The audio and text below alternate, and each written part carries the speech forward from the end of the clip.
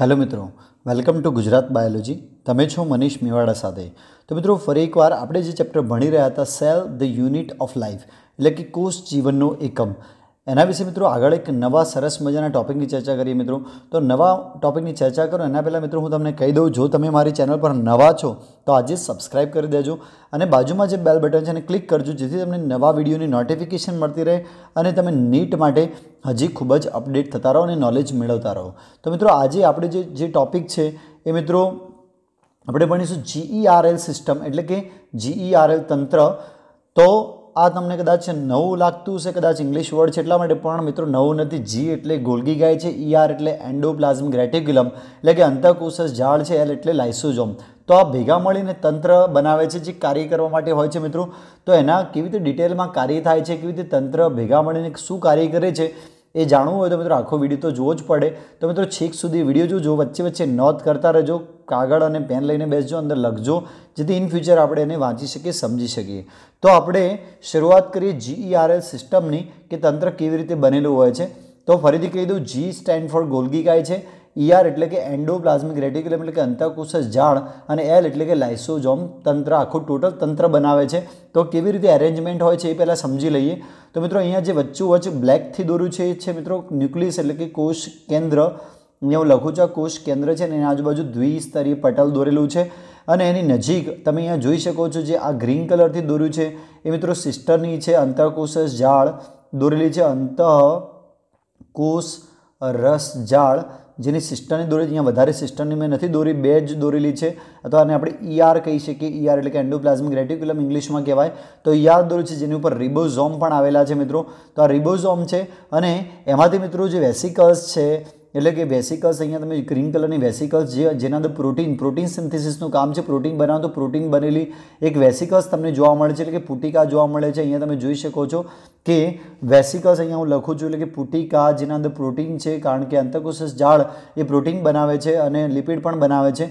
તો આ અંતકોષ ઝાડ બનાવેલી પુટિકા છે, જેની અંદર પ્રોટીન છે અને આ પ્રોટીન મિત્રો જાય છે ક્યાં આગળ તો ગોલગીકાયના જે બહિર્ગોળ ભાગ હોય છે, જે નિર્માણકારી સપાટી હોય છે ત્યાં આગળ આ જે પુટિકા છે, અહીંયા જોડાશે એટલે કે આ ભાગ ઉપર આ પુટિકા જોડાય છે અને એના જે દ્રવ્યો છે અંદર પ્રોટીન છે, એ અહીંયા અંદર એન્ટ્રી કરાવે છે એટલે કે જે ગોલગીકાય છે, આ ગોલગીકાય કોષ કેન્દ્ર નજીક મેં દોરેલું છે.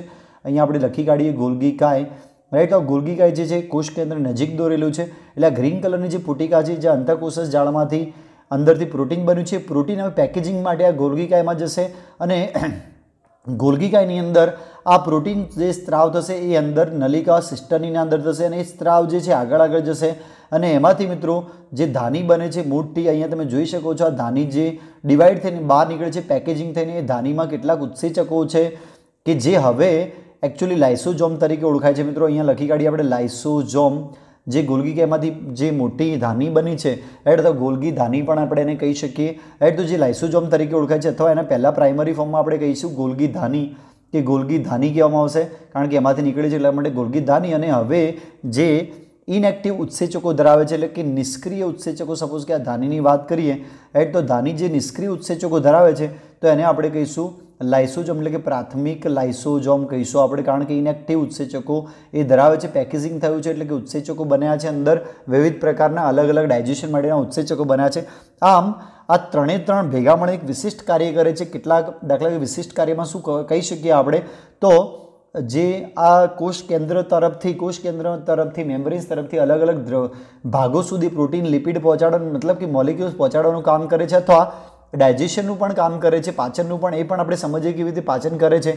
તો મિત્રો, આટલા સુધી તમને ખબર પડી ગઈ છે કે લાઇસોજોમ કેવી રીતે બન્યું, રાઈટ? અને કેવી રીતે આ ત્રણે ત્રણ તંત્રો એક સાથે ભાગ ભજવે છે. તો તમને અહીંયા તંત્રોમાં ત્રણે ત્રણ મેં દેખાડી દીધા છે એન્ડોપ્લાઝમિક રેટિક્યુલમ એટલે કે અંતરકોષસ ઝાડ આ ગોલ્ગીકાય અને પછી લાઇસોજોમ, એમાંથી બન્યું લાઇસોજોમ. આ ત્રણે ત્રણ તંત્રો મેં અહીંયા દોરેલા છે. આ મિત્રો જે કોષરસ પટલ મેં અહીંયા દોરેલું છે મિત્રો, એટલે તમે કન્ફ્યુઝ ના થતા કે આ લીટી સાની છે. તો મિત્રો, હું તમને કહી દઉં, આ કોષરસ પટલ મેં દોર્યું છે, આ બધું કોષની અંદર દોર્યું છે. એટલા માટે અહીંયા લખું છું કોષ રસ પટલ જે બહારનું આવરણ છે, એની અંદર આ બધું જ મેં ડ્રો કરેલું છે. તો હવે સમજીએ એકચ્યુઅલી લાઇસોજોમ આગળ હવે શું કાર્ય કરે છે? કાર્યમાં થોડું ડિટેલમાં જઈએ, તો તમને વધારે સમજણ પડશે. તો મિત્રો અહીંયા આકૃતિ એક સરસ મજાની દોરેલી છે. હવે હું તમને કાર્ય સમજાવું છું કે આગળ કેવી રીતે કાર્ય થાય છે મિત્રો. તો અહીંયા તમે સૌથી પહેલાં જોઈ શકો પ્રાથમિક લાઇસોજોમ મેં અહીંયા દોર્યું છે. તો પ્રાથમિક લાઇસોજોમ છે જેની અંદર નિષ્ક્રિય ઉત્સેચકો આવેલા છે. અહીંયા લખી દઈએ આપણે કે નિષ્ક્રિય ઉત્સેચકો આવેલા હોય છે, હાઇડ્રોલાઇટિક ઉત્સેચકો આવેલા હોય છે લાઇસોજોમની અંદર, તો પ્રાથમિક લાઇસોજોમ છે જે નિષ્ક્રિય ઉત્સેચકો ધરાવે છે. હવે શું થાય છે મિત્રો કે સપોઝ કે કોઈ ફૂડ પાર્ટિકલ છે સપોઝ કે આ ફૂડ પાર્ટિકલ છે મિત્રો, આ બ્લેક કલરનું દોર્યું છે, એ ખોરાકી એક પાર્ટિકલ છે, જે આ કોષરસ પટલના સંપર્કમાં આવે છે, એટલે કે એનું પાચન થાવો થવો થવું જોઈએ, મતલબ એ કાર્ય કરવા માટે આ કોષરસ પટલના સંપર્કમાં આવે છે, ત્યારે એન્ડોસાઇટોસિસ થાય છે, એટલે કે અંતઃભક્ષણ થાય છે, અહીંયા લખી કાઢીએ આપણે. અંતઃભક્ષણ થાય છે, કોષ દ્વારા ભક્ષણ.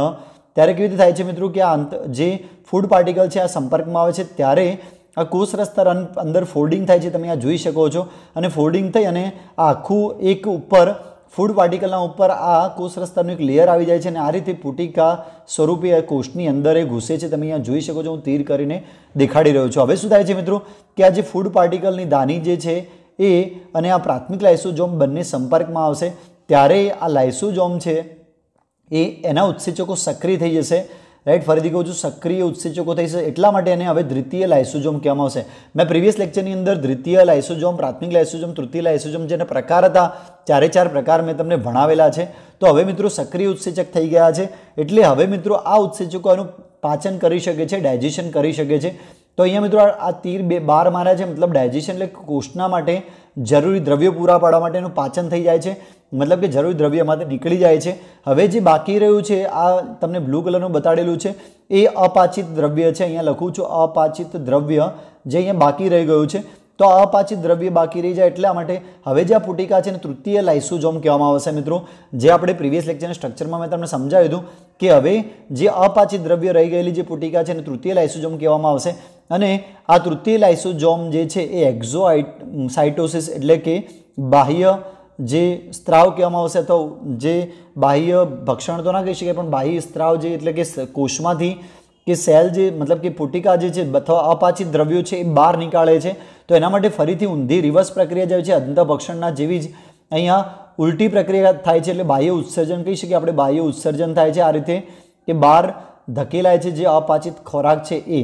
તો આ રીતે મિત્રો શું થાય છે કે પહેલાં જો કે બહુ અગત્યનું જાણવા જેવી વાત એ છે કે અહીંયા જેવી રીતે આ ફોલ્ડિંગ થાય છે, તમે અહીંયા જોઈ શકો છો આ ફોલ્ડિંગ થયેલું, એટલે કે આ કોષરસ સ્તરનું ત્યારે કેટલો કોષરસ સ્તરનો કોષરસ પટલનો વિસ્તાર તૂટી જાય છે, એટલે આ કોષરસ પટલ જે હોય છે, એ સપોઝ કે આટલું તૂટી જાય છે અને ફરીથી જોડાય, ત્યારે કેટલોક વિસ્તાર ઓછો થઈ જાય છે, જે ફરી પાછો આવો જરૂરી છે.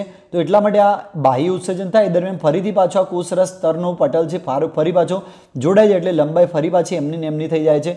જો મિત્રો આવું વારંવાર થયા કરે, તો ઓબ્વિયસલી કોષનું કદ ઘટી જશે અથવા એની કાર્યક્ષમતા પણ ઘટી જશે. તો આ કાર્યક્ષમતા ઘટે નહીં, એના માટે ફરીથી આવું બાહ્ય ઉત્સર્જન દ્વારા આ કોષરસ પટલનો કેટલોક ભાગ જોડાવો જરૂરી છે. તો આ રીતે મિત્રો શું કર્યું? લાઇસોજોમે, ત્રણ પ્રકારના લાઇસોજોમ મેં તમને અહીંયા બતાડ્યા કે પ્રાથમિક લાઇસોજોમ જે ઇનેક્ટિવ એટલે કે નિષ્ક્રિય ઉત્સેચકો ધરાવતા હતા. બીજા દ્વિતીય લાઇસોજોમ જે અહીંયા બંને પુટિકા એટલે કે ખોરાકના જોડે, દ્રવ્યો જોડે સંપર્કમાં આવતા, પુટિકા સાથે સંપર્કમાં આવતા દ્વિતીય લાઇસોજોમ બને છે એક્ટિવ થતા. અંદર જે માધ્યમની અંદર જે હાઇડ્રોલાઇટિક ઉત્સેચકો સક્રિય થાય છે એટલા માટે દ્વિતીય લાઇસોજોમ કહેવામાં આવે છે. અને પછી ડાયજેશન કરે છે, એટલે કે પાચન કરે છે અને પાચિત દ્રવ્યો શરીર કોષમાં મોકલે છે. અને હવે જે બાકી રહે છે અપાચિત દ્રવ્ય છે, જે તૃતીય લાઇસોજોમ કહેવામાં આવે છે. અને અપાચિત દ્રવ્યમાંથી જે અપાચિત દ્રવ્ય છે, કોષની બહાર ધકેલાય છે. અને આ રીતે આખું કાર્ય થાય છે. બીજું એક મેં તમને સમજાવ્યું હતું સ્ટ્રક્ચર જે ઓટોફેગોઝોમ તો મિત્રો, આ જે પ્રાથમિક લાઇસોઝોમ છે, જો કોઈ અંગિકાના સંપર્કમાં આવે છે, એટલે કે પોતાના કોષની જ અંગિકાના સંપર્કમાં આવે છે, કોઈ અંગિકા છે જેના અંદર પોઈઝનિયસ છે અથવા ડેમેજ થયેલી છે, તો એને મિત્રો કોષમાંથી નિકાલ કરવો પડે, તો એના માટે આ લાઇસોજોમ ભાગ ભજવે છે.